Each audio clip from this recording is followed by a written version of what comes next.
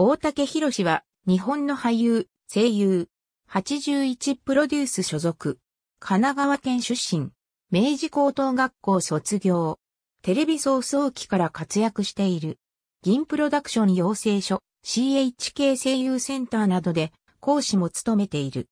かつては児童劇団、合唱団千鳥会、劇団千鳥、劇団東小、東京俳優生活協同組合、青鬼プロダクション、オフィスカオル、プロダクション A 組に所属していた。1991年の1月、一時休業のため、キテレツ大百科の豚ゴリラ役を途中降板し、達田直樹に引き継がれた。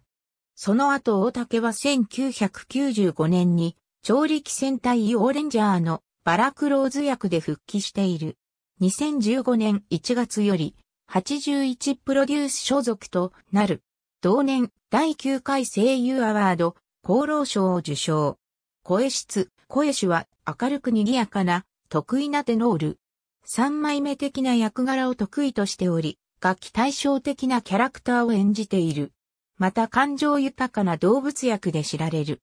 ドクタースランプあられちゃんで、ニコちゃん大王を演じる気は、愛知県出身である、杉山和子から名古屋弁の指導を受けて、アフレコに臨んだ。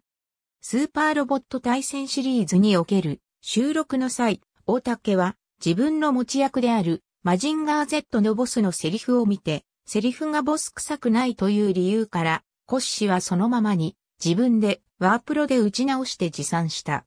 その後、スタッフ側から増やしたセリフの修正を依頼され、ここまでしてくれる方は他にはいないと絶賛された。趣味、特技はイラスト、指笛、ハーモニカ。太字はメインキャラクター。映画ドラマテレビ番組アニメ人形劇。ありがとうございます。